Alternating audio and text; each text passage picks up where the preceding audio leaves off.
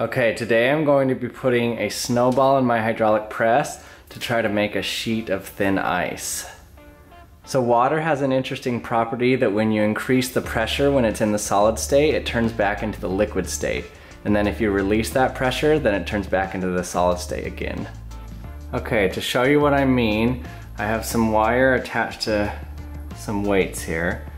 I'm gonna set it on my piece of ice. Okay, so what's happening here is the wire's putting a lot of pressure right in the center here and it's melting the ice, but the ice is still at freezing. And so as soon as it, the wire cuts past it, then it freezes back together. So the goal here is to get the wire to cut through the piece of ice and then you still have a whole piece of ice at the end. Okay, so here's a front view. Let's speed it up and watch the wire cut through the ice.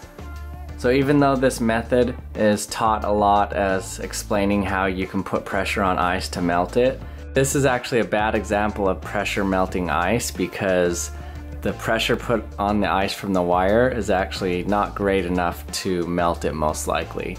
And it's actually just melting probably from the heat of the wires and the weights on it.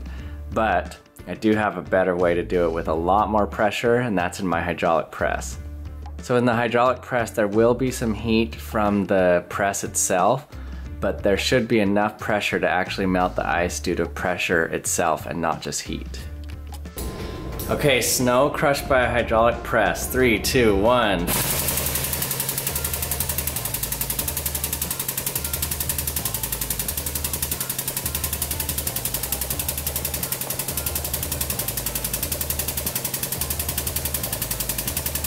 If we can get a sheet of ice.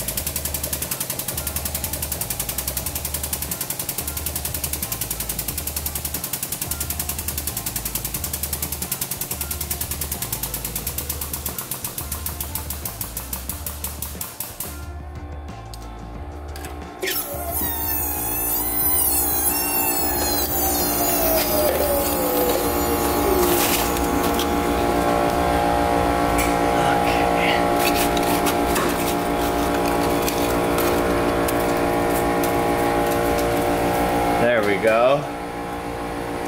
Okay, so now we have a continuous piece of ice from the snow. so what happened there is the snow is a bunch of little pieces of solid ice, but when we put pressure on it, then it turned it back into the liquid state. But when we released the pressure, it was still below freezing, so it all froze again back into a solid state. So now we have a nice sheet of ice. Pretty cool. Hey everyone, thanks for watching another episode.